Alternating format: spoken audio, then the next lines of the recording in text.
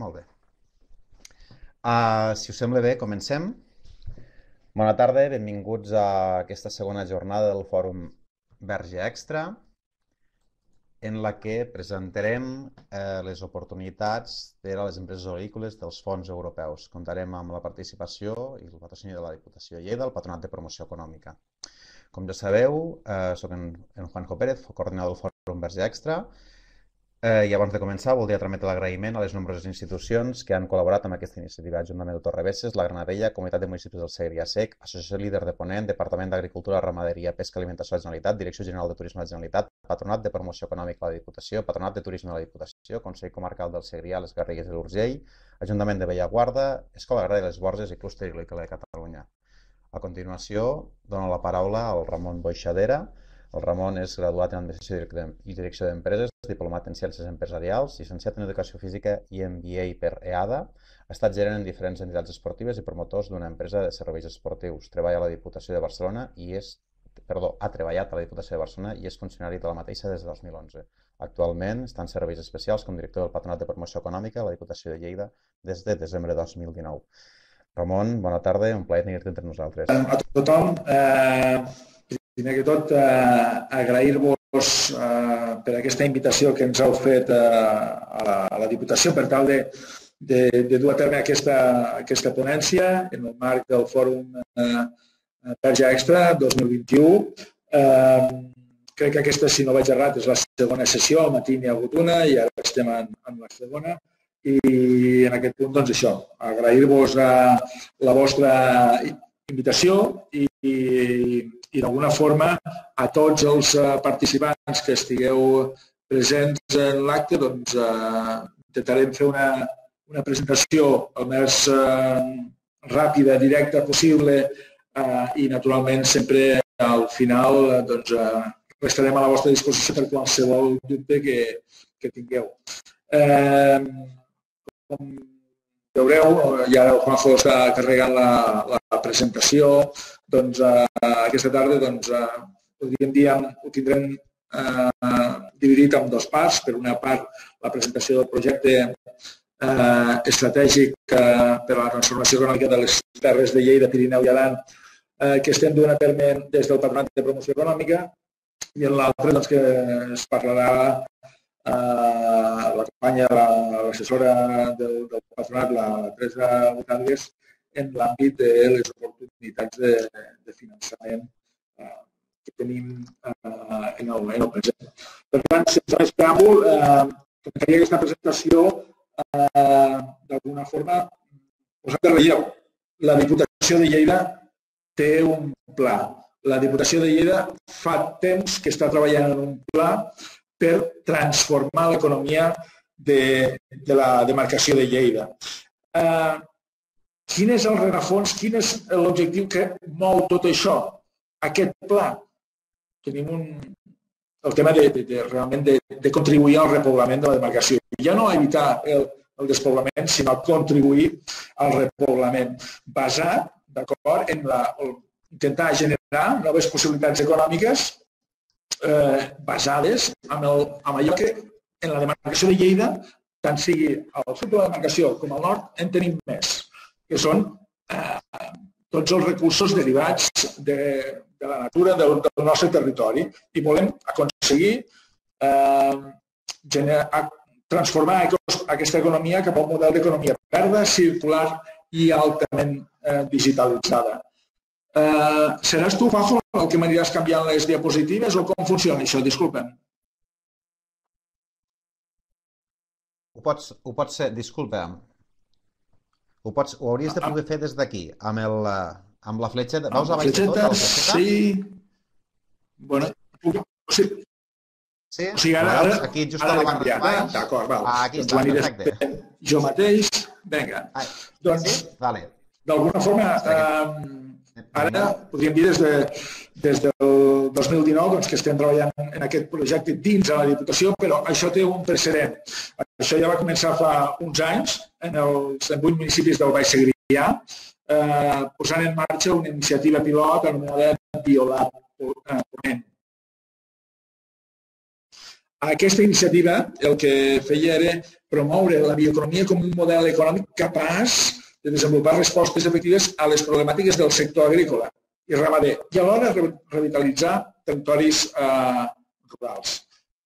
Què és el que ha contribuït la feina feta de, pel violat ponent? Doncs d'alguna forma tenir dades. Al final és important tenir dades per d'alguna forma, en aquest cas, eh, constatar el potencial del model a un nivell local, en un, al nivell d'aquests vuit municipis del Baix Segrià. També ha permès definir i validar una forma de fer, una metodologia per articular la col·laboració dels diferents actors. I alhora també posicionar el territori, en aquest cas aquesta iniciativa, esdevenint un referent tant a Catalunya com a Europa. A Catalunya, dins el marc de Catalunya, Biolac Ponent és un dels projectes eh, pilot del model d'agendes compartides per a la sostenibilitat i canvi social que eh, ha anat impulsant, que està impulsant la Generalitat de Catalunya. I per una altra banda, eh, a nivell europeu, eh, és un dels casos d'anàlisi del grup de treball de, de la Comissió Europea per analitzar les transicions industrials eh, i alhora una bona pràctica per a la Comissió Europea. El que us deia, l'any 2019, la Diputació de Lleida eh, assumeix el lideratge, però sempre amb aquest antecedent, amb aquest eh, treball previ, convertint eh, el pilot en un model de planificació territorial basat en el consens. Volem fer-ho amb la complicitat de tots els agents del territori, amb una acció col·lectiva i un enfocament global, holístic, sistèmic, que aborda des, un, de, des de l'arrel eh, els problemes estructurals eh, del territori, basat, tot, tot això basat en la transformació del model econòmic. Clar, i a part, i a part venim d'alguna forma de, que tenim, eh, podríem dir, l'entorn eh, a través de, dels ODS, del Green Deal, eh, doncs tot això ja d'alguna forma ja, ja feia venir de que eh, el tema del capital natural que tenim a la nostra demarcació era, era un potencial molt important per a les noves polítiques que, que, que es anaven a, a dur a terme a nivell uh, europeu a través del, del programa de programació de l'any uh, del 21-27. A més a més, això ara mateix s'ha, podríem dir, accelerat per la pandèmia. Ningú és, uh, uh, bueno, tothom, uh, doncs, aquesta pandèmia el que ha fet és que, d'alguna forma, eh, hagin sorgit altres possibilitats a través dels Next Generation, suposo que tots heu sentit a parlar, doncs que d'alguna forma el que ha fet és allò que en teoria havia de produir-se amb una determinada cadència eh, en aquest, dir, en aquest nou període de programació 21-27 de la Unió Europea, ara, de repent, degut a la pandèmia, per tal de mitigar els efectes derivats d'aquesta pandèmia, doncs s'ha accelerat amb aquesta eh, pluja de, de milions que diuen, jo de moment no n'he vist cap, diuen que vindrà. Eh, aquí, eh, jo aquí el, el que eh, d'alguna forma recomanaria seria mesura i d'alguna forma eh, bueno, prudència. Prudència però treballant. Eh? Dir, no ens, no ens hem d'esperar eh, a res, sinó que hem de treballar, però tampoc eh, quan aquestes eh, xifres que igual tots sentim per la tele, doncs que no ens enlluernen eh, i el que hem de fer és treballar per tenir bons projectes pel territori i a partir d'allí tenir realment opcions i alternatives per, uh, per assolir, uh, per captar fons al territori. Què és el que ens trobem? Què és el que ens trobem a, a la demarcació de Lleida? tots ho sabem, en general, eh? ara no parlo eh, de cap comarca en concret, aquí en el mapa doncs, teniu eh, d'alguna forma unes, una sèrie de dades, és un territori molt extens, molt eh, divers, però que està perdent població. Eh, comarca, comarca, quasi totes les, eh, les comarques estan des de, de, de l'11 al 20 ah, estan perdent població excepte un parell, totes a prop de lo, del que seria la, la capital, Segrià i el Pla d'Urgell. Però en general estem perdent població a un nivell agregat de tota la demarcació, estem perdent població. Per què? Ostres, doncs possiblement perquè el model econòmic que tenim no resulta prou atractiu, ni per retenir ni per captar la població, i la gent se'n se va. I els indicadors d'activitat d'ocupació del territori confirmen això, la pèrdua del capital humà a una producció econòmica de baix valor afegit amb poca capacitat de generar llocs de treball atractius. I aquesta és, eh, d'alguna forma, un punt d'inici sobre el qual, eh, clar, eh, hem, de, hem de posar, eh, doncs, ens hem de posar a treballar per canviar-ho, perquè és que si no, la tendència és que la gent se'ns continuarà anant si no els oferim noves possibilitats, eh, dir, per desenvolupar el seu futur professional i personal a la demarcació de Lleida. Per tant, això és un, un fet. Ara bé, a Lleida tenim, creiem nosaltres, que tenim unes fortaleses molt significatives eh, del nostre territori. Dius, quines són? Ostres, doncs tenim aquest capital natural que si hi ha realment molt extens que tenim a, a la demarcació, és un recurs productiu renovable que genera o pot generar fluxos de béns i serveis més enllà de la producció alimentària i del turisme. Tenim a vegades també, ostres, coneixement científic, tecnològic i pràctic, que ens ha de servir per posar en valor, per quantificar, per posar en valor el potencial del territori mitjançant el desenvolupament d'innovacions. Necessitem innovar. De sí, innovacions de caire tecnològic no tecnològiques. Eh, si anéssim una miqueta més a, a parlar del, de, de la especialment del nord, doncs de la demarcació tenim eh, la concentració de la major superfície de boscos de titularitat pública de, de Catalunya. I si anem possiblement, però no exclusivament, a la part sud de la, de la demarcació, eh, veuríem, veiem que a dada tenim una concentració del 53% de la producció agrícola i del 47% de la producció ramadera de Catalunya. És a dir, tenim tot un seguit de fortaleses que el que òbviament hem de fer és posar-les en valor. I per tant tenim un repte, que és el d'impulsar plegats la transformació. Eh, dius, ostres, i com, com l'aprofitem aquesta, com, com la podem impulsar aquesta, aquesta transformació de la demarcació de Lleida? Doncs hi ha diverses vies. Des de, podem aprofitar la, la transició ecològica per equilibrar els dèficits demogràfics eh, o bé agreujar-los. En funció del que fem, eh, en, en funció de, de la capacitat de les, especialment dels, dels comunitats rurals, eh, per liderar aquesta transició, doncs eh, anirem cap a un cantó o cap a l'altre. Per fer efectiu aquest lideratge, eh, hem de fer canvis profunds de baix a dalt, per tal de, des d'un prisma integral, sistèmic, eh, desenvolupar noves fórmules de col·laboració entre el sector públic i el privat. Allò que el privat vagi per un cantó i el públic per un altre, eh, hem de buscar eh, i teixir complicitats amb el sector públic-privat per, per créixer i avançar i transformar-nos. Eh, el privat normalment té eh, molt, molt més dinamisme del que pot arribar a tenir el sector públic, perquè d'alguna forma s'ha d'adaptar a canvis de mercat, però el sector públic alhora dona una, forta, una fortalesa, una, fia, una fiabilitat al territori que permet eh, implementar aquests canvis. Aquests canvis provoquen disrupcions. I això vol dir també resistències. Ostres, hi ha gent, hi ha, hi ha persones, hi ha, hi ha col·lectius que pot, que pot ser que, ostres, la típica frase, és que això sempre s'ha fet així. No l'heu sentit mai, que no? Jo alguna vegada. Doncs sí, hi ha, hi ha unes quantes d'aquestes. I per tant, aquestes resistències fan que el, el repte que estiguem plantejant sigui complex i un llarg termini. Per tant, eh, hem de treballar eh, plegats. I el paper de les polítiques europees a tot nivell, europees tal, és intentar eh, eh, per, o sigui, de totes les polítiques que hi ha per facilitar i, i, i acompanyar la, la transformació escolar eh, donant que caldrà, caldrà adaptar-nos a, a més reguladors, desenvolupar nous incentius, etc. Tot plegat ha requerit el desenvolupament d'una metodologia, d'uns instruments, d'un model de governança que faciliti aquesta participació.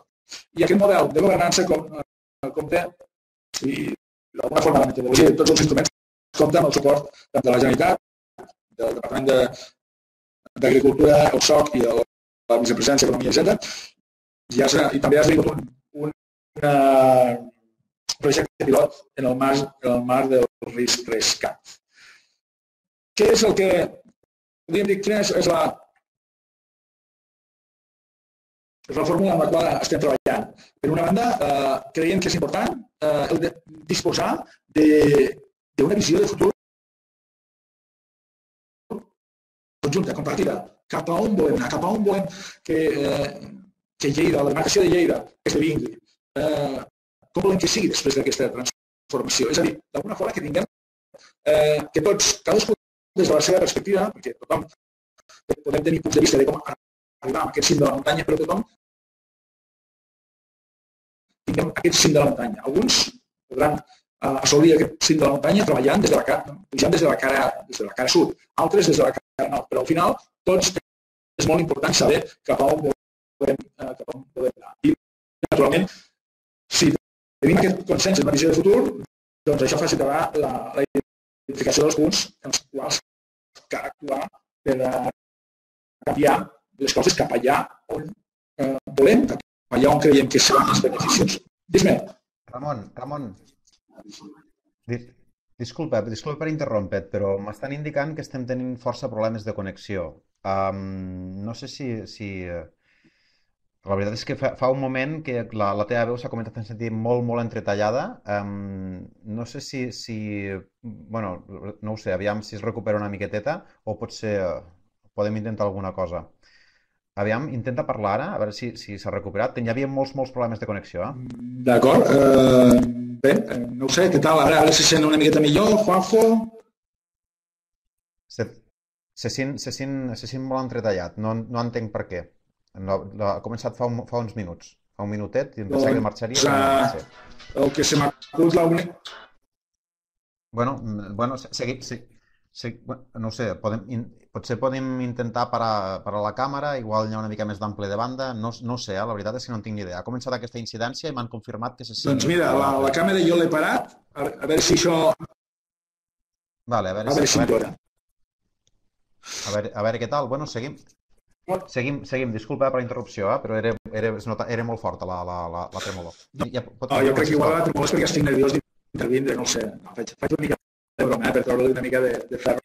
Doncs, a veure, a veure, espero, espero ja, ja, ja posa això de, del tema digital, que naturalment, ara mateix quan fas aquest comentari i dius que la connexió no et va bé, clar, sincerament, estic en un lloc que en teoria la connexió hauria de ser fantàstica. Uh, a partir d'aquí, doncs, la, la veritat no ho sé. Tirem endavant i, si no, doncs ja buscarem un pla B. Sí, sí, sí. sí. Seguim, sí, seguim, seguim. No, no, ja, ja, ja ho doncs, trobarem, això ja recuperarà. Com us comentava, lo important d'una visió de futur compartida. Després, eh, el tema de l'agenda compartida. Eh, definitiva, és una, una forma de treballar conjuntament en base eh, a, les, a les expectatives i a la determinació de, de la visió de futur i de les oportunitats que porta associada aquesta visió de futur i també eh, identificant els obstacles que caldrà superar i les solucions que caldrà implementar per d'alguna forma arribar a treure en suc, a poder eh, exprimir totes aquestes oportunitats que tenim aquí en el, el territori. I per a fer això eh, és important doncs, a, que treballem tots plegats i d'alguna forma que tinguem eh, perseverança, que mantinguem la nostra acció en el temps, tots plegats. Segur que eh, aquest treball eh, doncs, hi haurà moments en els que bueno, la diversitat del territori farà doncs, que, que no sigui senzill en determinats moments, però creiem que és important eh, ara més que mai treballar plegats. I eh, d'alguna forma tenim aquest un model de governança participativa basat en això, eh? en el tema de, eh, de les diferents oportunitats que tenim, visió de futur, eh, les diferents oportunitats que tenim i a partir d'aquí eh, veure quins obstacles han de superar i, per tant, les solucions o projectes que caldrà implementar per superar tots aquests obstacles. I després hi ha un tema doncs, de, de la generació d'un ecosistema d'innovació territorial eh, que d'alguna forma instruments de concertació territorial eh, que d'alguna i d'interessos al voltant d'expectatives compartides. Eh, que d'alguna forma podríem dir-li cèl·lules d'innovació rural. I després també tenim doncs, allò, espais físics per tal que aquestes polítiques, aquesta metodologia s'experimenti, se valide eh, i d'alguna forma eh, es pugui fer l'escalat de les solucions eh, identificades per avançar cap a la,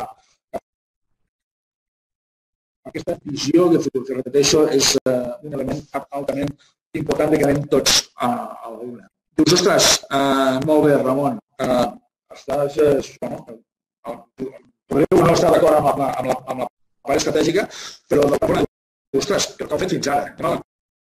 Digue'm alguna, alguna més concrecions més. Doncs d'alguna forma estem treballant, és, ja us diem, és a llarg termini i durant l'any 2021 el que d'alguna forma ja tenim definida una visió de futur compartida amb les principals eh, institucions eh, que ara després us diré quina és eh, el territori, hem concretat quines són les prioritats inicials, quines són les oportunitats. Ramon, Ramon, Ramon, Ramon, disculpa'm, però és impossible seguir la jornada. Hi ha una incidència greu i no, no... m'estan confirmant la resta de, la resta d'oients que, que tenen la mateixa, el mateix efecte. No, no entenc per què pot passar.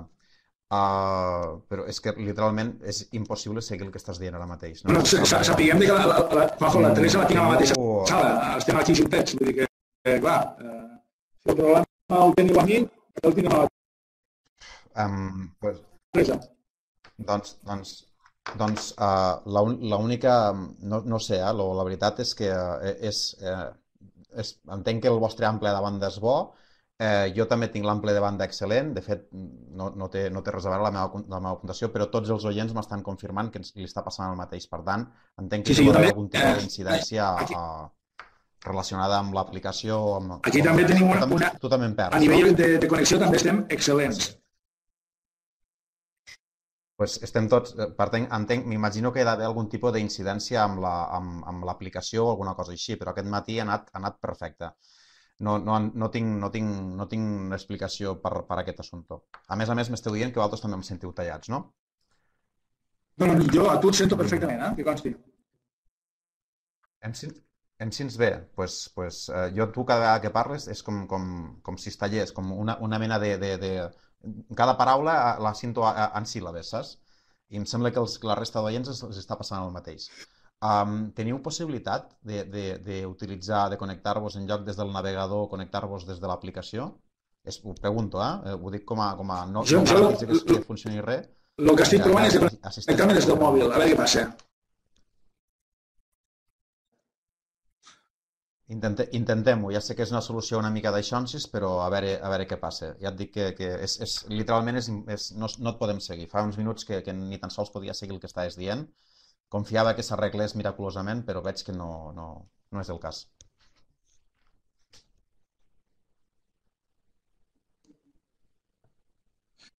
A veure, jo... jo però, un momentet, que ara es, es duplicarà. Un momentet. Entenc que has entrat amb, amb el mòbil, el que faré, el, intenta silenciar el, el que tens ja entrat, el, el que tens Ramon Boixadera, intenta, intenta silenciar-lo eh, silenciar perquè no es faci un eco i ara et passaré a, et donaré privilegis a, a, la, a la sessió del mòbil, a veure si tenim sort.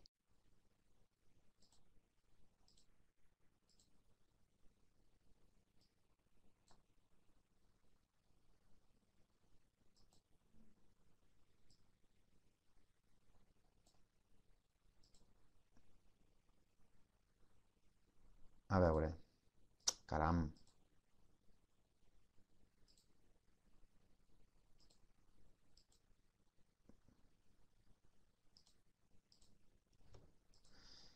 Vale, pel que sembla amb el, amb el mòbil no et puc donar no et puc donar aquesta no et puc donar aquests privilegis. Deu ser, clar, ja me surt una icona al costat que indica mòbil, per tant m'imagino que et puc, no et puc donar aquest privilegi. A veure si ho, si ho fem així.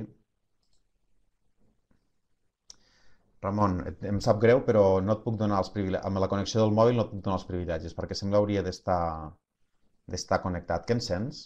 Pots intentar parlar ara? Igual, igual al sortir i tornar a entrar, igual, igual miraculosament s'ha arreglat una mica. Doncs mira, prova de sortir amb l'ordinador i torno a entrar amb l'ordinador. Ei, Ramon, Ramon. Sí. Ramon, ara et sentim perfecte. Ara et sentim perfecte. Vale. Doncs uh, seguim fins que, fins que la cosa canvi, vés a saber. Disculpa, disculpa, disculpa, se m'està acudint una cosa. M'has dit que tu i la Teresa esteu a la mateixa sala. Sí. Esteu utilitzant la mateixa connexió. Esteu utilitzant la mateixa connexió. Que no vingui per aquí el problema. Bueno, pues... Perquè veig que la Teresa ha sortit un momentet ara també. Pues, uh, res, la Teresa ara... ara...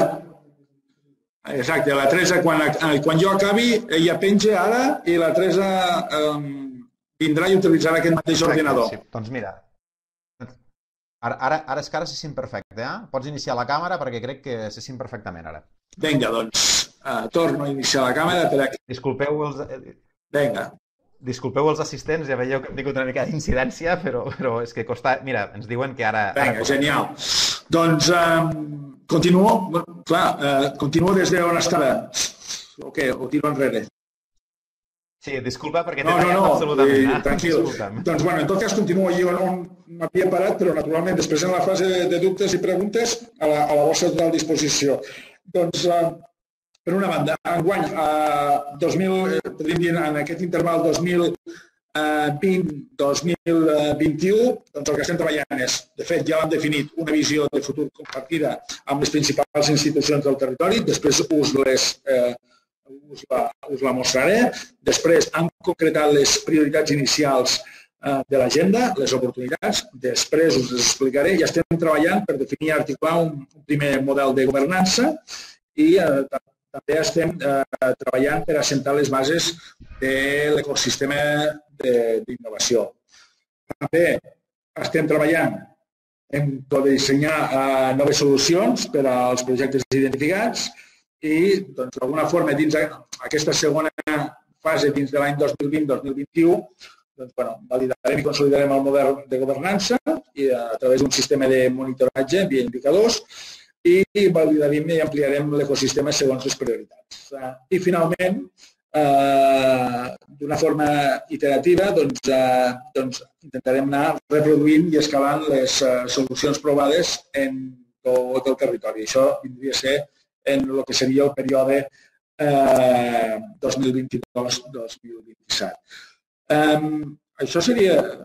Clar, i, I aquí vindria la visió de futur. La visió de futur compartida, la que, com, com veieu, doncs, eh, es va arribar a l'acord en un acte eh, que es va dur a terme el dia 27 de gener, en el qual eh, hi havia eh, la Universitat de Lleida, les dues cambres de comerç eh, existents a la demarcació, la de Tàrrega i la de, la de Lleida, i amb la Generalitat de Catalunya, la Diputació de Lleida i l'Ajuntament de Lleida. I, el, I la visió de futur compartida definida era doncs, això, podríem dir una frase llarga, sí, però d'alguna forma té cabuda, creiem, totes les sensibilitats té el nostre territori.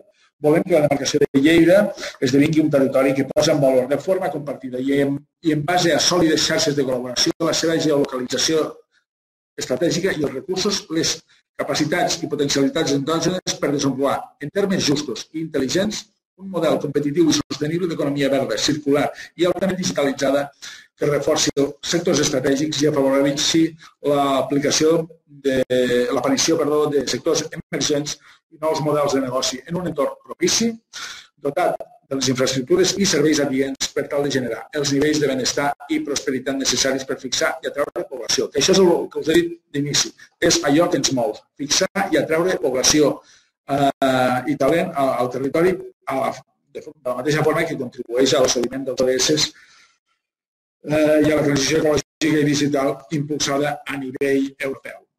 Això seria la visió de futur. I aquí, en aquesta altra diapositiva, d'alguna forma, vindrien les set eh, oportunitats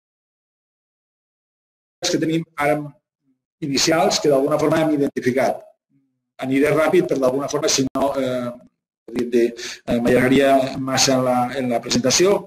Per una banda, la valoració integral de la producció agrícola i ramadera, és a dir, la bio, bioeconomia de base agro, agropecuària, la modernització, digitalització i sostenibilitat de les cadenes de valor agroalimentàries, la valorització dels boscos, així com abans parlàvem de la bioeconomia de base agropecuària, ara parlarem de la bioeconomia de base forestal, digitalització, eficiència energètica i generació d'energies renovables, turisme sostenible i intel·ligent i resiliència climàtica en infraestructures i ecosistemes, rehabilitació i genera, eh, regeneració urbana. Eh, aquestes oportunitats eh, lliguen d'alguna forma amb, eh, amb totes les polítiques que des d'Europa es volen, eh, es volen impulsar, eh, tenint en compte els flagships de, que va marcar la Unió Europea i també amb les 10 polítiques eh, tractor eh, que està donant a terme l'Espanya. Tot això ho hem anat concretant en eh, doncs, el 2020, el que us deia, vam, eh, vam, vam arribar eh, a fer una, prop d'una quarantena de sessions participatives al territori per tal de buscar complicitat i compromís. Eh, hem intentat teixir aliances estratègiques per contribuir a la visió de futur i fixar els àmbits prioritaris. Estem treballant bueno, estem esperant, en aquest cas, eh, per a que tinguem la resolució favorable de tres PECs eh, que d'alguna forma ens serviran per desenvolupar els instruments de l'ecosistema d'innovació. Hem signat eh, amb el, un conveni de col·laboració amb el DARP i Vicepresidència d'Economia i Hisenda, eh, un conveni per posar en marxa l'Oficina Tècnica de la Transformació. Estem impulsant la coordinació i consolidació de la tecnificació al territori. Eh, gràcies a aquesta metodologia hem identificat projectes transformadors de, forma col·laborativa que han estat incorporats en diverses manifestacions d'interès, eh, també per part de la Generalitat en els projectes de referència del Next Generation, del Generation i eh, aquest eh, model, aquesta forma de treballar ha despertat interès en, eh, diverses entitats eh, de fora a nivell europeu. Um, I per últim, aquí mostrar-vos doncs, uh, un exemple del que us deia, doncs, de que des del NEX, uh, aquest document editat per la Generalitat de Catalunya, on fixava les, els 27 projectes tractors uh, que volen potenciar la Generalitat de, de Catalunya, en el, concretament en el número 8, parla de la bioeconomia circular eh, en la valorització de dejeccions ramaderes i, ramaderes i altres subproductes agroalimentaris on eh, la Diputació de Lleida, a través de l'Oficina Tècnica per a la Transformació Econòmica, eh, d'alguna forma eh, serà qui ho gestionarà. Té el valor això, eh, té un valor per nosaltres important, no deixa de ser un, un paper que després l'hem de traslladar a la realitat, que eh, d'alguna forma és l'única dels projectes que eh, estarà eh, gestionat per una diputació, en aquest cas la Diputació de Lleida. I aquesta seria la presentació que avui us volia fer amb aquesta interrupció que ha hagut eh, entremig, eh, que espero que... Qualsevol cosa a disposar.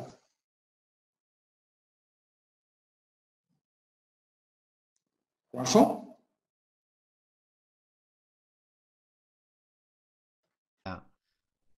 M'havia apagat el micròfon, disculpeu. Uh, deia, moltes gràcies, moltes gràcies, Ramon. En realitat lamento la interrupció perquè, a més, és que te deia que estaves, que estaves, uh, que t'agradava el que estaves explicant i que ho sents, no? Però és que realment era, era literalment impossible seguir-ho i uh, crec que ara, ara afortunadament, hem pogut seguir la, amb, molt, amb molta més qualitat la part, la part final de la, de la intervenció.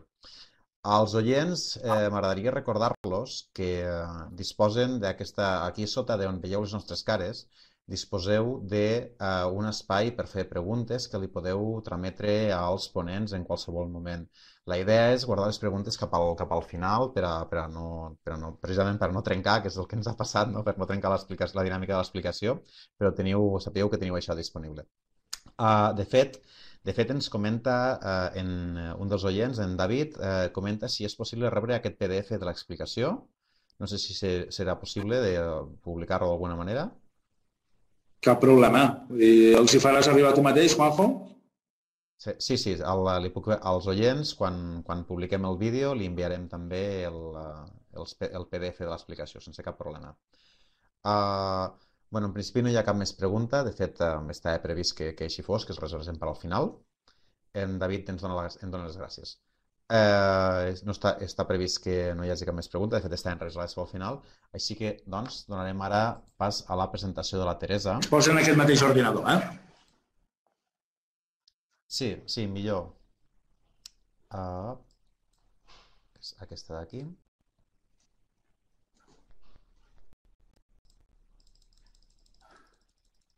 És aquesta presentació, no? Veritat, Teresa? Sí.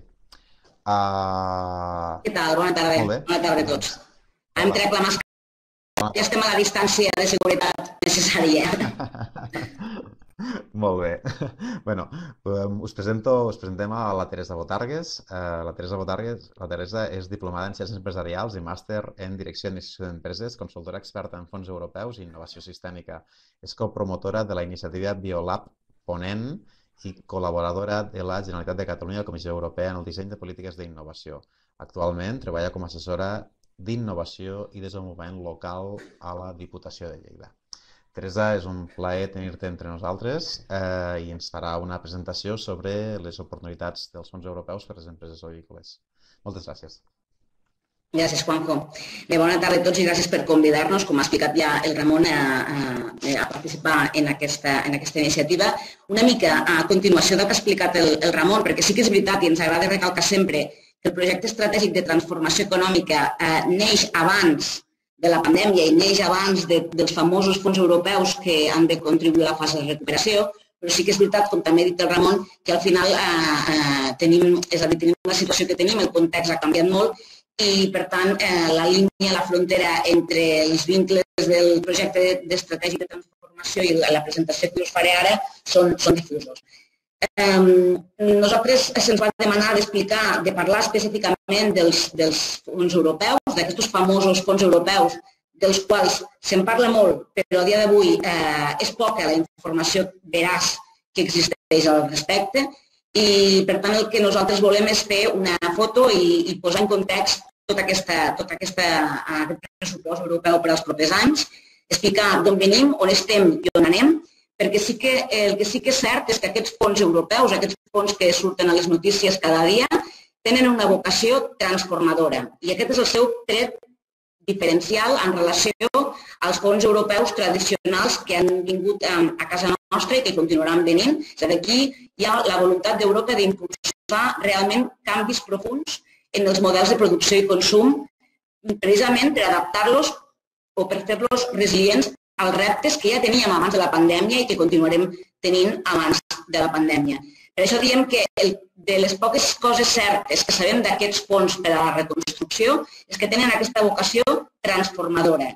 I aquesta vocació transformadora, donat que us acabem de presentar un projecte el que, el que vol precisament és impulsar la transformació del model econòmic del territori, evidentment considerem que és, per tant, una oportunitat per a desenvolupar amb suport de fons públics europeus, al final fons de tots nosaltres, respostes efectives a reptes que arrosseguen de manera estructural eh, diferents sectors o diferents àmbits del nostre, dels, dels territoris rurals de casa nostra, com és el cas del, del sector de l'oli. També és veritat, però, que, que per poder aprofitar aquesta oportunitat, primer, ens caldrà ser capaços de treballar de manera col·laborativa, no només dins d'un propi sector, que a vegades això ja és difícil, sinó que més enllà del sector, de la mà d'administracions, de centres d'investigació, d'agents de la recerca, perquè entre tots és, haurem de ser capaços d'identificar quins són aquests canvis o aquestes innovacions que el sector ha d'anar implementant amb el suport a poder ser d'aquests fons durant els propers anys per fer efectiu aquests canvis i, els, i en la direcció que impulsa Europa. I, per tant, això és, volem recalcar que és molt important aquest canvi de paradigma en la manera de treballar, al qual ja ha fet referència el Ramon en la seva presentació. Després, ens caldrà, i això també serà complicat i serà, és un repte, saber combinar els diferents fons, programes i convocatòries que eh, podran fer efectius aquests canvis que nosaltres haurem identificat prèviament. És a dir, tenim com a dues fases. És a dir, sabem que els fons volen transformar, necessitem identificar de quina manera nosaltres necessitem eh, desenvolupar projectes per fer efectiva aquesta transformació, en aquest cas aplicable al sector de l'oli, i després, quan tinguem la informació que ara no la tenim, saber de quina manera hem de combinar les convocatòries que apareixeran per a poder optimitzar l'accés a aquest fons. Això és important perquè volem recalcar perquè a dia d'avui sabem el que es vol aconseguir amb aquests fons, però no sabem com voldran acabar vehiculant aquests recursos, que cada cop sembla més clar que eh, estaran bastant centralitzats i que a partir de, de, dels diferents ministeris es derivaran cap a les diferents comunitats autònomes i cap als diferents sectors, perquè suposo que tots heu sentit en més d'una ocasió que aquests fons no són per territoris, sinó que són per sectors i per transformar-los. Per això, la presentació d'avui vol servir per contextualitzar una mica i per prendre consciència d'en quin punt estem. D'acord? En aquest sentit, és important, considerem que és important mm, recalcar que més enllà dels fons del Next Generation ha vida. És a dir, abans de que la pandèmia irrompís de manera eh, bueno, flagrant durant l'any passat a, a les nostres vides, Europa periòdicament, cada set anys més concretament, elabora un pressupost.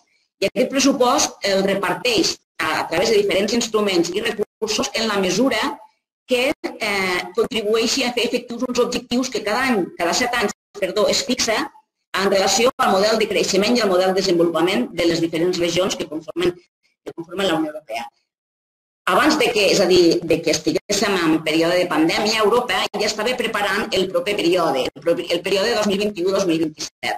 A dia d'avui estem tancant el període 2014-2020, en el qual hi han anat associats molts fons, els fons de la política agrària comú, els fons de, de desenvolupament regional, els PAD, els FEDES, tots els fons, tot l'univers de fons que molts de vosaltres segur que coneixeu. Això ja s'estava preparant, ja s'estava treballant, perquè estem tancant el 14-20 i havia de començar el 21-27, i Europa ja havia definit que per al 21-27 volia esdevenir més intel·ligent, més verda, més connectada, més social i més propera als ciutadans.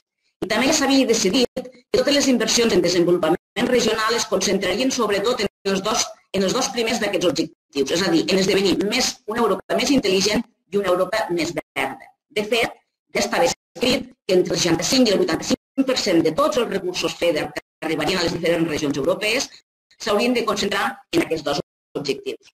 En paral·lel, al 2018 la Comissió Europea ja presenta les propostes legislatives sobre el nou enfocament de la política agrària comuna per al període 21-27, precisament per adaptar-se a aquests objectius que ha fixat Europa. Perquè Europa treballa d'una manera molt coordinada. S'estableixen uns objectius, que en aquest cas són aquests cinc, i després cadascun dels fons, siguin els associats a la política agrària, siguin associats a la política de cohesió, siguin associats a la política de recerca, tots els fons han de treballar per fer efectius aquests objectius. I aquest era una mica l'escenari que teníem abans de la pandèmia. El que ha passat, el que va passar és que, evidentment, com tots coneixeu, el 2019 eh, eh, eh, irrompeix la pandèmia, la Covid-19, i Europa, a diferència de l'anterior crisi econòmica, considera que l'estratègia adequada és la de mobilitzar inversió pública per a reconstruir l'economia un cop acabi la fase de crisi eh, sanitària. Ja, ja s'intueix, i ara ja es veu, que la crisi social i econòmica que derivarà després de la fase de crisi eh, sanitària serà molt important. Europa decideix mobilitzar el pressupost més gran de tota la seva història per a la fase de reconstrucció. En aquest gràfic és perquè veieu visualment la diferència. És a dir, si durant tot el període 2014-2020 la Unió Europea tenia un pressupost de prop de 1.000 milions de milions d'euros, perquè aquí sempre parlarem en milers de milions, eh? però el període 21-27, el que ja tenia previst gastar, que era una mica més que el del període anterior, que passava, passava una mica més dels 1.000 milions, se li suma tot el paquet del Next Generation. Per tant, com veieu, gairebé doblem el pressupost que la Unió Europea volia injectar en els propers anys a l'economia europea per afavorir una reconstrucció, una reconstrucció econòmica. Tota, tota aquesta quantitat eh, de diners eh, són en total 1,8 milions de milions d'euros, d'acord? Que tenen com a dos grans capítols. Els fons que ja venien preparant-se per al període 21-27, que són aquests 1.000 milions de milions, més els 750.000 milions, que suposo que tots heu sentit a dir aquestes xifres, eh, del Next Generation. Per tant, és important que sapiguem que eh, el total de recursos a gastar durant els propers anys és aquest import, no només el del Next Generation. I com reparteix aquests milions d'euros la Unió Europea entre els diferents instruments per fer-los arribar als territoris? Pues a través de diferents mecanismes. Els que s'emporten la part més important de pressupost, ja abans de la pandèmia, és tot el tema de la política de cohesió i tot el tema de les polítiques vinculades amb el medi ambient i, i els territoris rurals, que al final aquí dintre és on hi ha la política agrària comuna i en l'altre cercle és on hi ha, que ho teniu remarcat en, una, en, en vermell, tots els fons eh, els fons FEDER habituals i el mecanisme de recuperació que s'afegeix en aquest període. A partir d'aquí, què considerem interessant explicar-vos? Que eh, del Next Generation, que són aquests 750.000 milions d'euros que se sumen als 1.000 milions de, de milions d'euros que ja preveia la política del de, pressupost per la, per la Unió Europea del 21-27, sí que és veritat que afecten a, a la manera com alguns fons o alguns instruments ja habituals s'han d'anar reorientant. Perquè el que, el que tenim clar és que tots aquests fons de reconstrucció han d'anar a impulsar un canvi en el model econòmic. I aquest canvi està definit ja de fa molt temps. És a dir, és el pacte verd i la transició digital. És a dir, Europa vol ser verda i vol ser digital. Per tant, hem de forçar amb aquests diners aquesta transició ecològica i aquesta transició digital. Com afecta això a la nova política agrària comú? Doncs bé, ja us havíem explicat que abans de la pandèmia ja s'estava reformulant la PAC del període 21-27.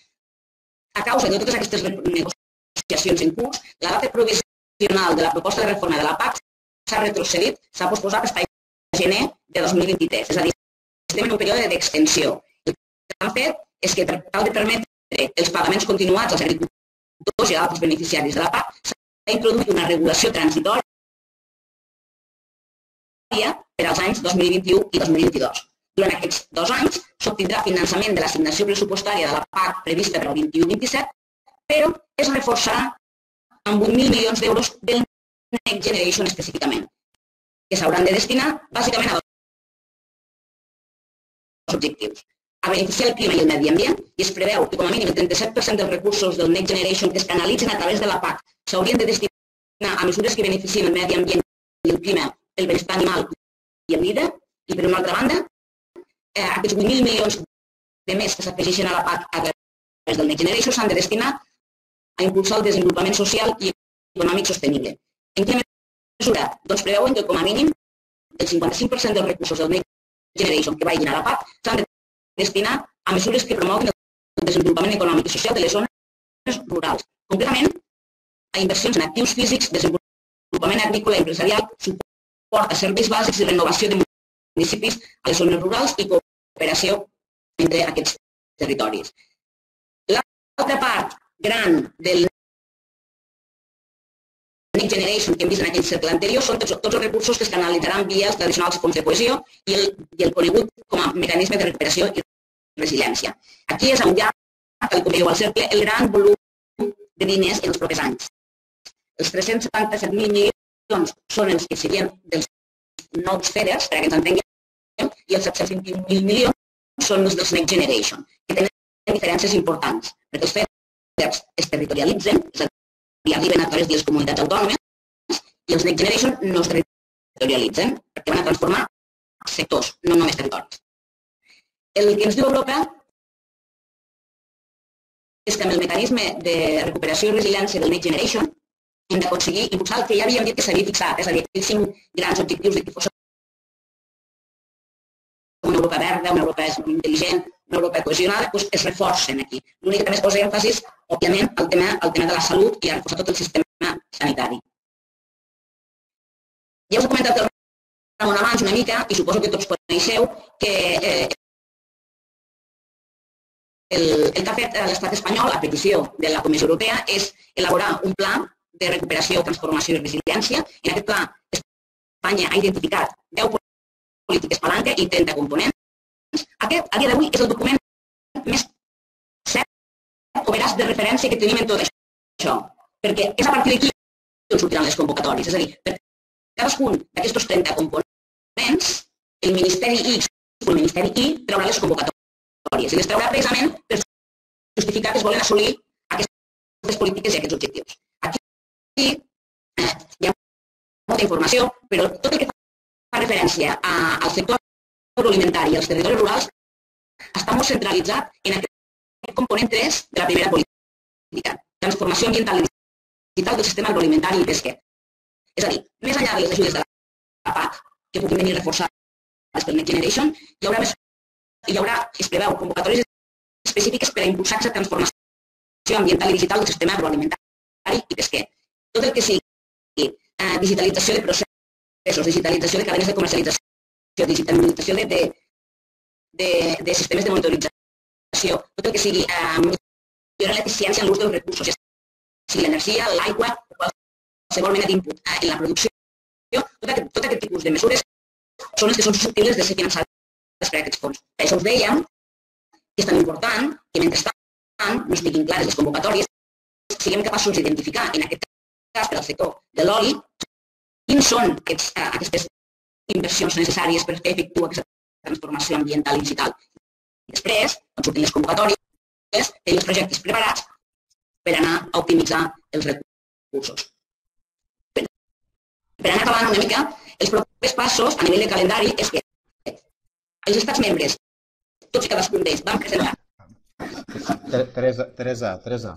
Sí, digues. Teresa, perdona, disculpa, tornem, fa, fa, un, fa, uns, fa uns minuts tornem a tenir la mateixa incidència. M'estan dient els companys de, de, de, que pel WhatsApp que és absolutament impossible de seguir la, la, la, la sessió. No sé, no, no sé com... No, no, em, sap molt, me sap molt de greu, però això és, és insisteixo, és, és, és molt, molt difícil de seguir. No, no, ni tan sols no s'entén porto tres diapositives que no sóc capaç d'entendre ni mitja paraula el que estàs dient. Me sap molt de greu perquè és un tema molt interessant. I a nosaltres també, nosaltres també. Perquè, de fet, és el que deia el Ramon, eh? la nostra ja, connexió, ja. aquí hi fica que l'estat de la connexió és excel·lent. No sé. No, no, no. No, no, no, no, no, no, no, estic dient, no estic dient que la incidència sigui vostra, se'l faltaria. Uh, hi, ha, hi, ha un, hi ha una incidència, hi ha una incidència. No, no entenc quina és, aquest matí això ha funcionat perfectíssimament, però perfectíssimament. Sí que és veritat, ara, ara... sí que és veritat que no, no ens ha deixat entrar amb a, a l'aplicació. És a dir, l'aplicació nosaltres la tenim. Sí, doncs deu ser, deu ser el, aquest deu ser el problema. Um, si podeu, podeu intentar-ho intentar tornar a entrar des de l'aplicació, des de, m'has de entendre que teniu un altre ordenador, intenteu entrar des de, l'aplicació, que us donaré permís com a administrador, i a veure si ens en sortim. És que no, no, provem, provem, i tant. No, no, és una llàstima, és que no es pot, no es pot seguir. Perquè normalment amb l'enllaç, eh, Juanjo, passa'm el, el codi de la sala. Sí, sí. sí. El, es, um, sí. el passo per WhatsApp o com, com ho vols? O per correu, no. perquè el copiaré i l'enganxaré directament. Vale, un momentet.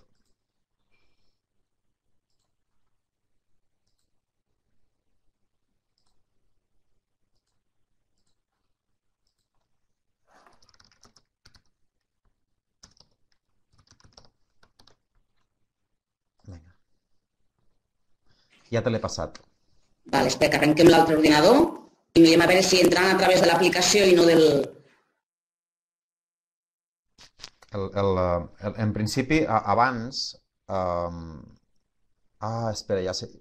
Bueno, no.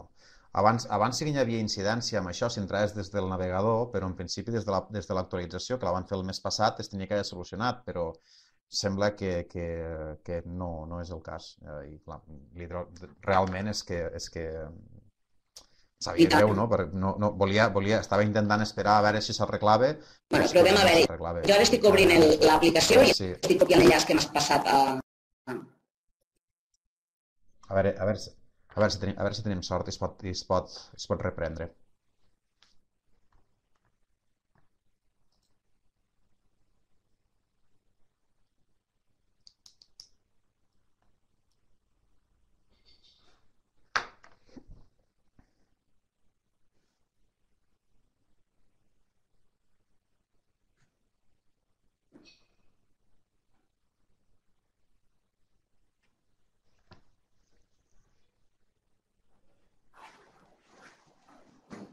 Ara em diu que s'ha d'actualitzar l'aplicació.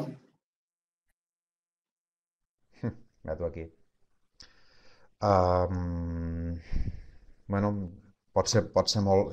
Si, si ho sí, sí, ho estic, intentar, ho estic fent, eh? Ho estic pot fent. ser molt ràpid. És que, de fet, de fet, de fet, ara, de fet ara sembla que se, se deu sobrecarregar la, la, la connexió o alguna així, perquè ara quan, te, quan parles se sent, se't sent bé però m'imagino que quan eh, deu, bueno, deu ser algun tipus de, de, de, deu tenir alguna a veure amb la càrrega del, del buffer i tot això. No, no vull fer les informàtic, però sé que té a veure amb aquestes històries. Jo això, Juanjo, de veritat que... no, no, és, és, és... Eh, la veritat és que no, no m'havia trobat mai aquesta incidència. A més a més, tan, tan... O sigui, que, que un rato se sent tan malament, luego ara, ara et sentim bé, de fet. Ara, Home, ara me queda una diapositiva. Um, Vull dir que... Intent... una diapositiva? Això t'ho dic. Llavors... Quedava poquet, no, jo estic, poquet. Ara s'està instal·lant, estic al 90% i va fent, però vull dir, si... si... Sí. Si, si ara em sentiu... A veure, si, si, ara, a veure, si et quedava només una diapositiva, doncs també també és una mica d'això. Si, um, jo jo te, te, te diria, t'agrairia que ara que et sentim més o menys bé, durant, almenys, durarà, suposo que tindrem uns minutets de coi que fins que es torni a espatllar, eh, si poguessis tornar a explicar aquesta diapositiva, que és quan s'ha començat a sentir realment malament, que era incapaç de seguir res, Vale, i, bueno, i a veure si arribem. Com, com, com ho veus? Si tenim sort i, i, de totes maneres, el mateix que dèiem abans, eh? posem a la vostra disposició aquesta informació i, i, i qualsevol dubte que hi hagi estem, a, estem aquí per, a, per ajudar-vos. mesura que. El que dèiem, la poca informació escrita que tenim al voltant de tot això és en què es vol gastar l'estat espanyol aquests diners. D'acord? I per això va definir sí. 10 polítiques i 30 components. La primera política és la que està més vinculada a l'àmbit rural i aquesta inclou com a un dels components eh, el que és la, la transformació ambiental i digital del sistema agroalimentari. Per tant, les convocatòries a les quals pugui accedir el sector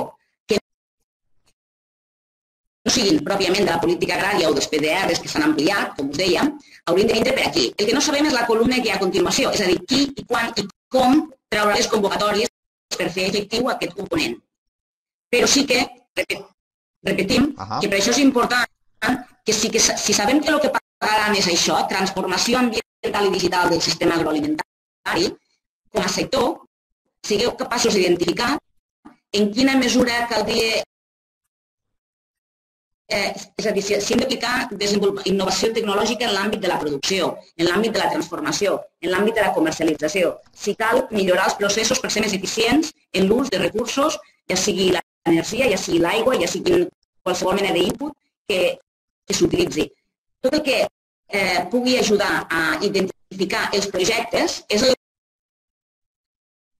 el que pensem que ara com ara és més important perquè precisament després quan surtin les convocatòries els projectes ja estiguin identificats. I quan parlem de projectes parlem de projectes des d'una òptica sectorial i territorial, eh? el que explicàvem abans, perquè no tots, és a dir, no tota la transformació ambiental i digital del sistema agroalimentari depèn exclusivament del productor mm, primari. Aquí tothom, aquí diferents actors hi tenen un rol important i per això aquesta part és important. D'acord? Mm, no sé si creus que ja, ja, estàs, ja està comentat, Juanjo, i puc passar a la següent. Sí, sí, la veritat és que recuperar una miqueteta la, la, la idea que havies dit. Cap problema. Sí, T'ho agraeixo. Almenys hem, tem, continua, ten, continua havent i continua havent la, la incidència, però crec que almenys s'ha pogut entendre la, la, la idea. És que l'actualització que tinc a l'altre ordinador, perquè el tinc aquí a la vora, però no, no, no sí, funciona. Sí. Bueno, no, no, no cal, no, no, no ens preocupem. Que, si te queda una diapositiva, eh, seguim, sí. eh, tirem-ho endavant i, i, i veurem, veurem com, sí. què, què fem. Jo, jo penso que l'important, és que em perquè el que dèiem, eh, s'estan dient moltes coses, però no hi ha res del cert encara. I l'únic que sabem és el què es vol pagar i com se pagarà, no ho sabem. De fet, no sabem tampoc quin serà el percentatge de cofinançament que tindran els privats i els públics. Mm, per tant, mm, hi ha molt poca informació. Quin és el calendari previst? Doncs això que us dèiem, és a dir, aquest pla que va fer Espanya i que presentam al final del 2020, allò és un esborrany. De fet, és un esborrany. El definitiu l'ha de presentar a l'abril. D'acord? Per tant, aquestes, quan moltes vegades sentim a parlar del mes d'abril, al mes d'abril no es presenten els projectes. Es presenta la versió final del pla de recuperació de l'estat espanyol. D'acord? Després, la Comissió Europea avaluarà aquests plans. I quan estiguin aprovats és quan començaran a arribar els diners d'Europa cap a cada estat membre. I serà aleshores quan se començaran a fer efectives les convocatòries que han d'estar totes publicades i resoltes, les del Next Generation, eh? no les dels FEDER que vindran a continuació. Han d'estar totes compromeses a finals del 23 i els projectes executats a finals del 26. I aquestes són les dues dades, dates de referència. És a dir, el problema que té això és que passarà de molt verd a molt madur, perquè en poc temps s'ha de fer molta feina, però de fer cada estat membre, en aquest cas Espanya, d'acord? I aquest una mica és el calendari, perquè les altres dues diapositives ja és una mica que us ha explicat el Ramon, eh? la vinculació, bueno, l'última diapositiva és una mica la vinculació del projecte de transformació amb el, amb el Next Generation. Però com a dades pràctiques i pragmàtiques, a dia d'avui les que són públiques i conegudes són les que, almenys les que nosaltres coneixem, són les que us, us hem explicat en la mesura de que puguin ser de la vostra, del vostre interès o de la vostra utilitat. Vale. Um, bueno, molt, moltes gràcies, Teresa. Quin greu, quin greu, quin greu de, de, de que, que hagi anat tan malament això. No passa res. Si, si volem ah. tornar-nos a trobar un altre dia, ho tornem a fer i teniu a, les nostre, a, la, a la vostra disposició les presentacions. Sí que és veritat que a mi és la primera vegada que em falli, eh? Aquesta, és la primera vegada. Normalment funciona de meravella. El, Sé que, sé que la, a veure, sé que eh, s'ha alliberat una actualització que es va alliberar fa, re, fa dues o tres setmanes i és possible que ens hàgim quedat, doncs jo, jo la tinc actualitzada, és possible que la vostra no estigui actualitzada, que hi hagi un conflicte de servidors, vés a saber, vés a saber. No, no, no buscarem explicacions tècniques que, que, no, que no som les persones adequades per fer-les. Jo, jo almenys. Um, No, no, ni jo tampoc, ni jo tampoc. El, el, el que passa és que, bueno, pues m'ha tocat, de, de, de, fixat que he intentat fins i tot baixar la, la resolució de la transmissió del, del, de la càmera. I, bueno, I s'agraeix... Mentre, mentre estàveu parlant he intentat mil, mil S'agraeix molt, Paco. arreglar-ho.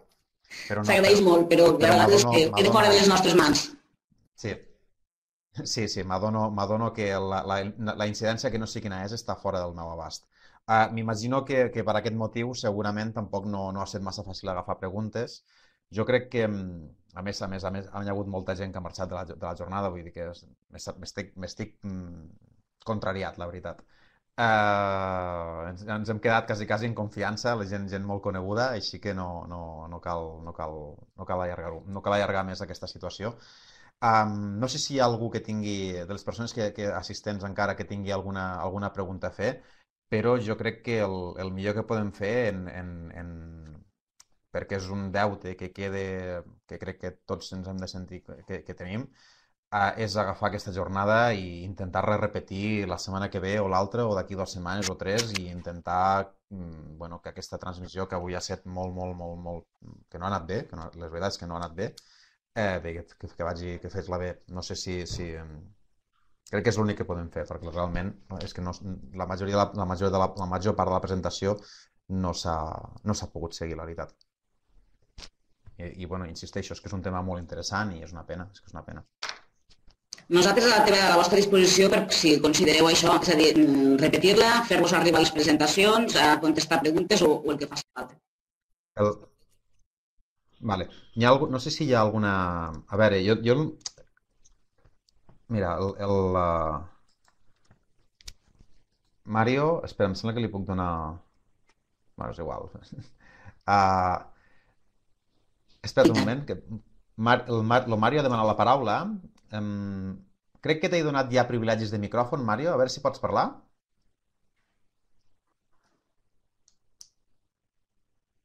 Has activat el micro? Ara sí. sí. Ara sí que et sento una mica.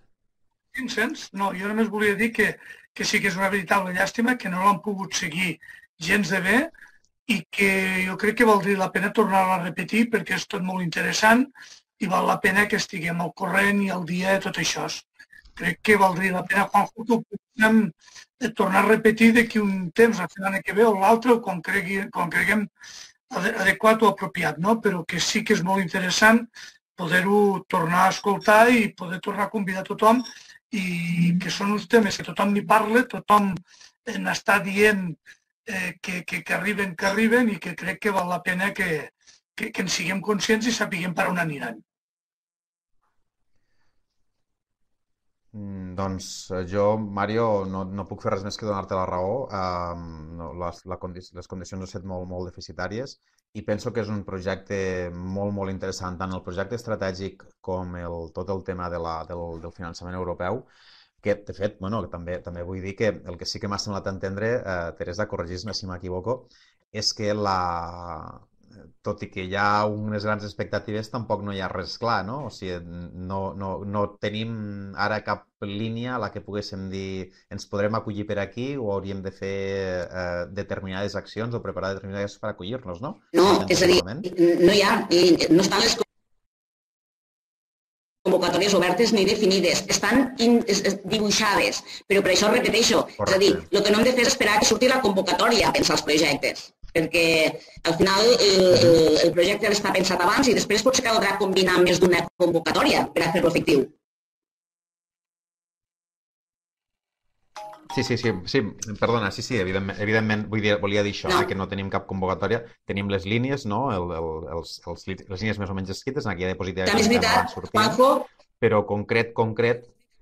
Que igual mes que ve en tenim alguna, eh? vull dir, a veure, és que ara com ara no n'hi ha cap. Se preveu que les primeres que puguin sortir siguin les, les que estan més vinculades a la recerca, als centres de recerca, d'acord? I, que, I potser les, de, les, de les que també sortiran aviat seran les que van vinculades a l'eficiència energètica o la, el que ells diuen rehabilitació d'edificis, perquè són, com, són convocatòries que ja estaven escrites i que l'únic que han de fer és posar, l'únic posar de financiado con fondos FEDER, pues posaran financiado con fondos del Next Generation. Però n'hi ha moltes que s'han de fer de nou. Molt bé. Vale. -huh. eh, llavors, en, en, en, uh, Ara, bueno, a veure, aprofitem aquest moment que sembla que tenim una mica de respiro, no?, amb, amb, la, amb la incidència aquesta. Sí. Igual, uh, el tema, el, pel, pel, de fet, con, concretament, no?, una, una, una resposta que li poguéssim dir al... I aprofito que quasi estem aquí en, en, en família, eh, quasi bé. Uh, una, una, el que li podríem dir a una empresa de, de, de l'Olivera avui en dia, una, una empresa oleícola que, que ara mateix està, estigui preocupada per, aquestes, per aquests fons, és mm, pensa't bé el teu projecte, no? Comença a pensar el teu projecte, que línies es sortiran, eh, però encara no estan aquí, tot i comença a pensar el teu projecte i com, i com, com ho faràs per desenvolupar la teva empresa, no? Segurament seria per aquí. Sí, però ha de pensar un projecte de la mateixa manera que eh, un, un agricultor sap quan ha de fer una inversió perquè hi ha una maquinària que se li queda obsoleta o perquè, és a dir, al final ells han de pensar si el meu model de negoci, si la meva empresa ha de complir amb el que m'exigirà Europa, és a dir, que sigui, eh, que sigui ecològica i digital, per a que ens entenguem, què necessitaria jo invertir? D'acord? Per tant, és pensar una mica en un projecte que potser com a empresa no és conscient de que, de que necessita, però que sí que les tendències van cap aquí. De fet, ja sabeu que la pròpia, eh, dintre del Green l'estratègia del camp a la taula preveu incrementar de manera progressiva la producció ecològica en els propers anys i això implica reduir la utilització de fitosanitaris i tot, tot això és a dir, ara com ara potser no es fa en el dia a dia d'un agricultor i ho entenem perfectament, eh? però si vol accedir a algun tipus d'ajut públic, que no seran subvencions, no seran subsidis, seran, eh, seran subvencions per a fer inversions que contribueixen a millorar el seu model de negoci. D'acord? Això també és important a l'hora de parlar amb, els, amb les empreses, perquè sobretot les empreses del sector primari estan molt acostumades a les polítiques agràries dels darrers eh, anys i ha, això no va de subsidis. Jo no dic que hi hagi altres instruments que vagin de subsidis, però això no va de subsidis. Això va de pagar inversions. Inversions que les has de fer no per guanyar més diners, que també a la llarga, sinó per ser més eficient, per ser més digitalitzat, al final és millorar la teva competitivitat. I les empreses han de començar a pensar en això. El que passa que serà, també serà difícil que una empresa sola pugui, per això us deia al començament, no? d'agrupar, de treballar des d'una perspectiva de sector, Uh -huh. Molt bé. Segurament, entenc que pel que dius, que segurament estaríem parlant més d'un, aprofitant que tenim a la Teresa per aquí, eh, que estaríem parlant més d'un líder, no?, de, de, de, de subvenció a la inversió, que no pas d'una PAC purament entesa, no?, com un contracte global d'explotació o, un, o, un, o una DUN, no? en, un, en aquesta idea de subvenció i no de subsidi. Segurament aniria per aquí. Em sí, sí. No? Estàs d'acord? El, el, en, eh, crec que el Mario havia aixecat la mà. Eh, T'he donat privilegis de micròfon. Sí, sí. No, a mi una mica ara ho heu contestat. No? A mi el que em fa por de que aquestes inversions que poden tindre eh, els, els petits productors o les empreses lleidatanes són tan petites de que em penso que moltes vegades potser no entraran en aquestes ajudes eh, europees i llavors que caldrà que, que hi hagi un ens superior hi hagi una agrupació per poder fer aquestes inversions. Estic segur que inversions de 100 o 150.000 euros o 200.000 euros fàcilment no entraran en aquestes ajudes. S'està parlant d'inversions de, molta, de molt capital i amb això aquí al territori normalment no hi arribem mai. Llavors o es coordina des d'un ens superior o es coordina entre tots el, no sé, una agrupació de, de, de, de productors que és molt difícil, de productors o elaboradors o industrials, o si no això serà, serà complicat poder-hi accedir. Almenys és el que jo tinc entès o el que estic escoltant i que rumoreja per, per, per aquest món, no? Bueno, clar, és que... No sé, Teresa, com ho veus? Tu, tu, mateix, tu mateix ho has dit, a Màrius rumoreja. És a dir, hi ha molta informació, però ja us he dit a la primera, a la primera frase que poca d'aquesta informació es veràs. Sí que, és a dir, haurà de conviure, perquè si no, no hi ha manera, ara que estem així Eh? És a dir, no hi haurà manera de gastar aquesta quantitat de diners si no conviuen grans projectes, estic parlant del tipus SEAT, d'acord? amb petits projectes, perquè si tot, és a dir, si el volum de diners que s'ha de gastar a Espanya en els propers anys, us fico un exemple per, a, per a que veieu la, la magnitud de les xifres. Eh? Si Catalunya, durant el període 2014 2020 havia de gestionar 800 milions de FEDER i ja sabeu que la feina ha sigut acabar-lo de... bueno, de fet s'ha reconduït bona part cap a l'emergència sanitària, no hi havia manera de gastar-lo en 7 anys. En principi, Catalunya per, per l'any 2021, només el 2021, ha previst gestionar 1.500 milions d'euros de Next Generation, en un any. Ara agafeu aquesta escala i poseu a nivell d'estat, és a dir, hi ha molts diners i molt poc temps per a, per a gastar-los. Aleshores, hi haurà d'haver, i, i, i, i els ministres que han sortit a parlar en moltes ocasions diuen que això no va de projectes, no, no va de territoris, va de sectores. I per això s'estan preparant aquests macroprojectes a nivell del sector agrícola, del sector ramader, del sector càrnic, del sector del cotxe, del sector de... Perquè i això al final seran com a locomotores a darrere dels quals hi haurà molts vagons i en alguns d'aquests vagons hem d'aconseguir que hi entrin els projectes de les petites empreses i microempreses que tenim en el territori. Aquesta pot ser que sigui una via. O bé, si finalment, perquè no ho sabem, hi ha una part que es permet territorialitzar, aleshores és quan el que deia el Mario, a nivell de territori hem de ser capaços d'aixecar aquests projectes col·laboratius. Però mm, mm, no, aquesta informació a dia d'avui no, és, no, no existeix encara, no se sap.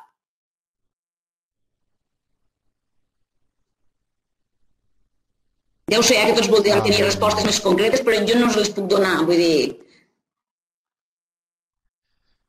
en, ens... Uh, sí, no, no, evidentment. Em fan arribar una, una pregunta pel, pel, pel WhatsApp. Ens demanen si podem avançar en la constitució dels PERTES. El,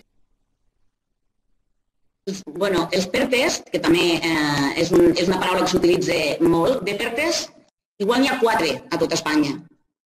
I són PERTES de 5-6 mil milions d'euros. És a dir, un territori no pot fer un PERTE. És un sector a nivell nacional que pot fer un PERTE. El, la SEAT i la fàbrica de bateries és un PERTE. Però si us en fixeu, la fàbrica de bateries segurament no és per a Catalunya. A Catalunya les ensamblaran. Pues això són els PERTES. És a dir, PERTES són grans projectes eh, que, quan, que, que, que segurament aniran vinculats a molts petits projectes sumats. Per això us deia això de la locomotora, de si el sector eh, eh tira endavant un gran PERTE per digitalitzar el sector agroalimentari, això serà una, com un tren amb, unes, amb un munt de vagons a, a través dels quals hi podran entrar diferents projectes més petits. Molt bé. Val, vale, d'acord. No havia, no havia entrat més a la pregunta pel, pel, pel missatge. Vale. Uh, no sé si hi ha alguna, alguna intervenció més. Uh, entenc que no. Eh, llavors, jo el que eh, us dic, em sap molt de greu com, com ha anat aquesta sessió, no, no, no, la veritat és que no m'havia passat mai i ja n'en portem unes quantes amb, amb l'Adobe Connect, la veritat. No ens havia passat mai una cosa així. Uh, intentarem, veurem com ha, com ha quedat el, el vídeo, no? Li demanarem l'enregistrament al, al, al pad del vídeo per veure com ha quedat, i, però si em surt com em temo que ha quedat, eh, doncs us convidarem a, a, a intentar repetir aquesta jornada i bueno, ja agafo, li agafo la, em sumo el que ha dit en Mario, no? que és un tema, un tema molt, molt interessant i és una, és una pena que no, que no l'hagin pogut comunicar com, com el tema mereix. Així que crec que, crec que val la pena de tornar-ho a intentar. Uh, vosaltres voleu? Que... Doncs jo, bueno, nosaltres ja, ja la invitació us la faig ara i, i, i, se, i segur que buscarem, buscarem una data que, que, que, ens pugui, que ens pugui encaixar intentarem donar el ressò adequat a la jornada i, i bueno, i arreglar les coses perquè em sap, em sap, em sap molt de greu que, que hagi passat això en una jornada, la veritat. Doncs bé, uh, crec, que, crec que no hi ha cap més intervenció, no ha vingut ningú que ha fisat cap, cap, cap punt més al xat ni res, així que uh, crec que val la pena deixar-ho aquí. Teresa i Ramon, agrair-vos sincerament la vostra aportació i paciència també aquesta vegada i bueno, mm, insistixo que, que ho tornarem, ho tornarem, us convidarem a, a tornar-ho a intentar i ho farem, ho farem molt millor la propera vegada. Gràcies a tots per la vostra assistència i que tingueu una... Moltes gràcies, gràcies Juanjo, gràcies. Gràcies a tots. Adeu. A vosaltres.